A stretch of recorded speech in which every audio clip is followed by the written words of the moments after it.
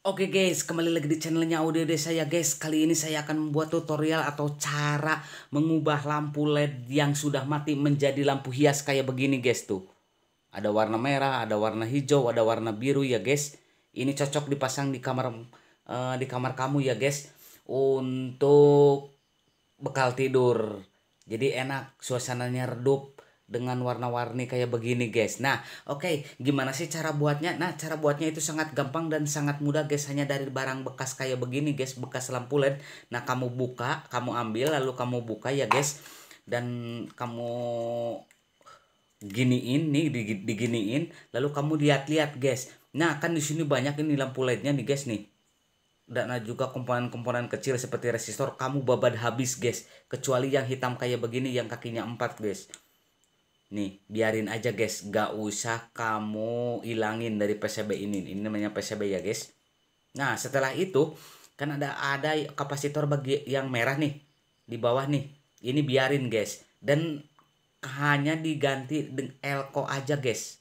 Elko yang ini guys. Ini elko ukurannya 400 volt 4,7 kan aslinya 50 volt 47 mikro. Kalau ini 4,7 mikro 400 volt kamu ganti ya. Saya menggantinya itu dari bekas lampu LHE atau bekas lampu jari nih elkonya saya pindahin ke sini guys. Nah kayak begitu. Setelah itu kamu cari resistor 150 kilo guys. Nih. Kayak begini. Dan cara pemasangannya itu dijemperkan ke kapasitor yang merah ini guys. Nah. Dijemperkan kayak begini guys No.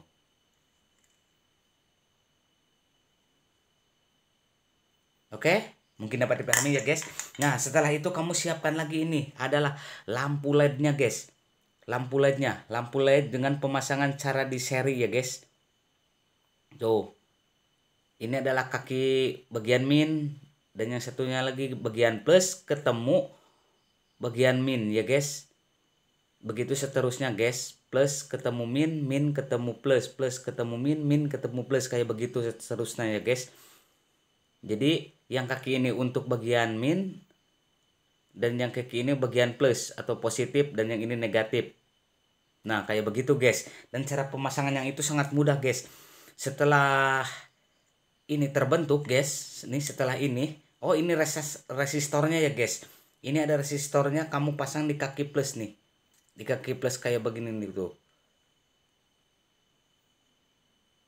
100 kilo ini resistornya guys.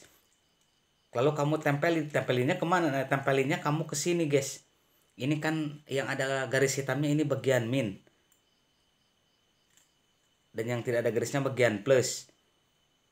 Nah kamu pasangnya kayak begini nih nih.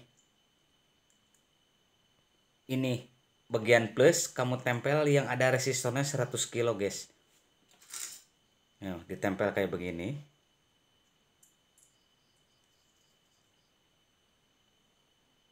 Oke. Lalu yang sebelahnya lagi yaitu kaki bagian min. Kamu langsung tempelin aja guys. Oke langsung tempel ya guys. Nih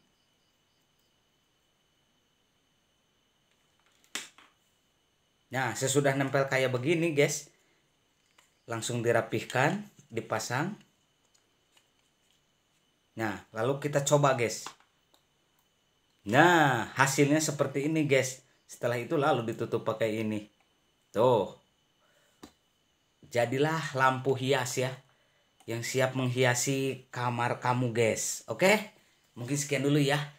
E, trik atau cara pembuatan lampu hias dari barang bekas guys. Semoga bermanfaat.